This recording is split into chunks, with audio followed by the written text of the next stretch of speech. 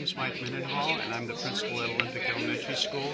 I'm excited to see my students on the first day of school, September 2nd.